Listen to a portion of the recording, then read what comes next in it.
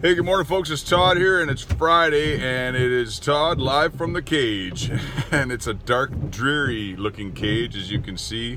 It is pouring outside right now in beautiful BC. I'm not sure where you're watching from, and uh, but we've had a really nice October, and uh, now we're finally getting a bit of the rain that we should get because we all need a little rain, which is uh, kind of goes to us another song that we're looking at potentially adding to the album, and it's uh, We All Need a Little Rain to Fall.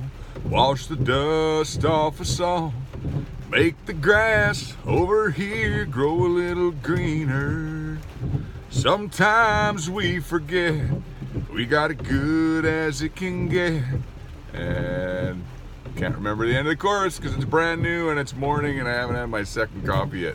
Anyways, I hope you're doing great. Uh, I'm still uh, reeling and recovering from the BC Country Music Awards last weekend where we were presented with the Humanitarian of the Year Award for a second year in a row. Uh, this time for our work with the uh, BC Fire Relief uh, fundraiser that we did last summer to uh, help the folks that were affected by the horrible fires. Uh, so it was really cool to receive that along with Linda Kerskadden and Karen Lee Batten. Uh, so thankful.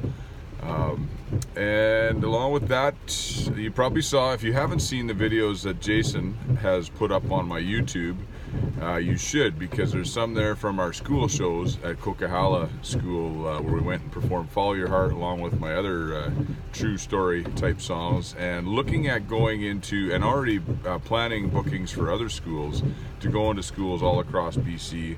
I would love to bring bring these songs into schools all over, like beyond BC.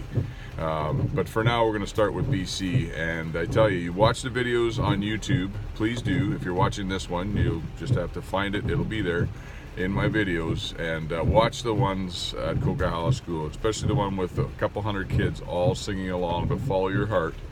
And uh, having Carter there.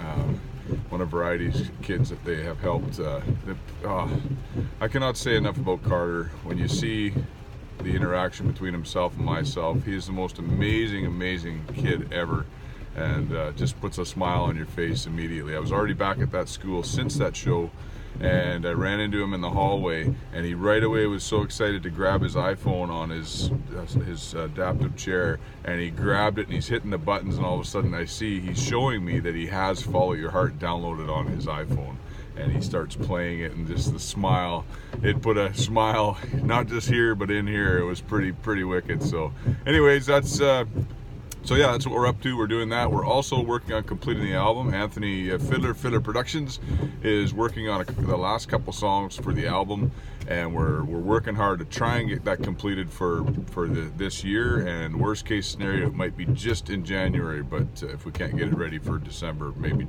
maybe January. So, anyways, Todd live from the cage, a dark and dreary cage, as you can see. Please download my music. please uh, watch my videos, support me, and help get me out of this damn cage. See this cage? See that pipe that's going in today? I'd much rather have that microphone in my hand today. So with your help, you can get me out of this cage and we'll be doing this live from a stage instead of the cage. See what I did there? Anyways, I'm going to just say coffee clink to a great day, folks. Happy Friday. This is Todd live from the cage. We'll talk to you again soon. Thanks for subscribing. Thanks to our supporters and we'll talk to you soon. Cheers!